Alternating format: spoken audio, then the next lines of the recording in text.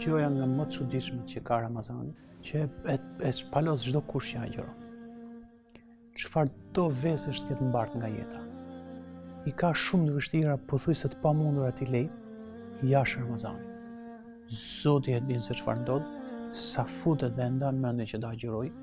syfyrin e parë e kalon,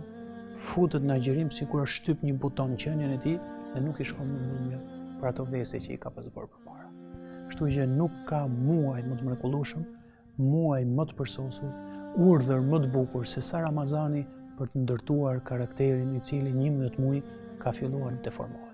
Lum si ai që agjëron për shumë shpërblime që ka, për shumë mirësi që ka, për shumë dobi trupore që ka,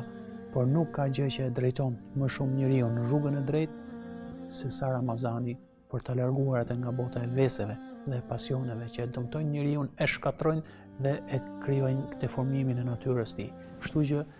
nuk ka gjë më të bukur dhe më të vendosur dhe më të fuqishme sesa agjërimi i muajit të Ramazanit për të larguar veset dhe pasionet shkatërruese.